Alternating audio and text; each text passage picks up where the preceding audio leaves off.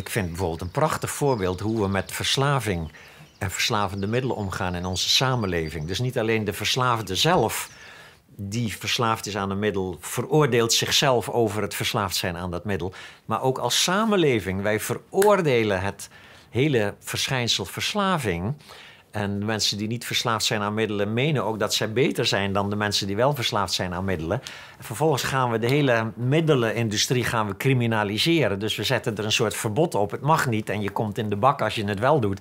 Dat levert ongelooflijk veel extra ellende op in onze samenleving. het feit dat het verboden is, levert zoveel ellende op in de samenleving. Het kost zo verschrikkelijk veel geld ook extra.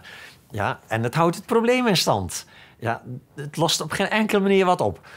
Natuurlijk zullen, de, de, de, zullen mensen tegenwerpen van... ja, maar je kan toch niet alles dan maar legaliseren? Nou, dat zou wel kunnen, denk ik. En dat zou in ieder geval de criminaliteit doen verdwijnen.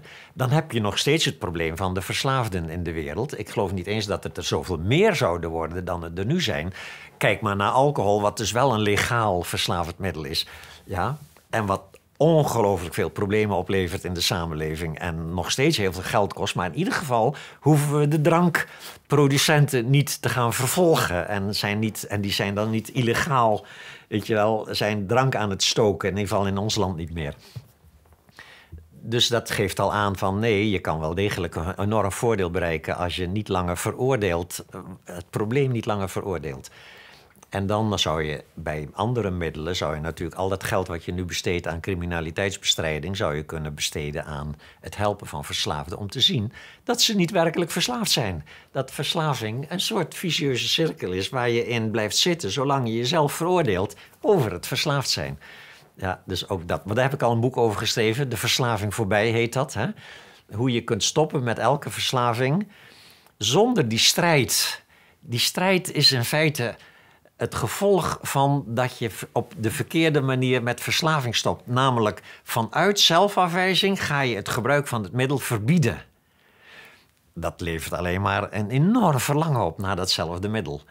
Dus wat is dan de oplossing? De oplossing is niet het middel verbieden, maar de zelfafwijzing beëindigen.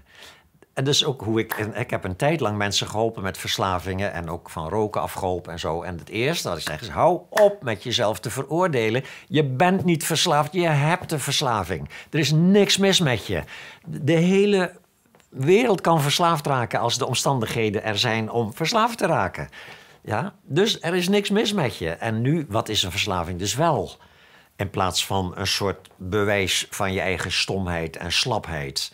Ja, dat is een psychische visieuze cirkel. Ja, een middel creëert een bepaalde behoefte, die vervolgens door dat middel weer bevredigd wordt, maar tegelijkertijd de behoefte in stand houdt. Het is een hele simpele visieuze cirkel, die zeg maar weer raakt aan een wat diepere visieuze cirkel, namelijk die van dat hele aangeleerde zelfbeeld. We geloven dat we moeten voldoen aan voorwaarden om ons goed te voelen, en dus moeten we voldoen aan voorwaarden om ons goed te voelen. We zijn dus verslaafd aan het voldoen aan voorwaarden om ons goed te voelen.